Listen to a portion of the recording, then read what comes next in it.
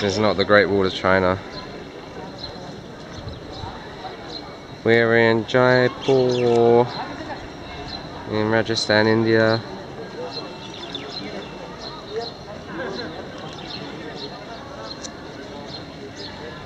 I'm probably going to have a lot of video of palaces and forts.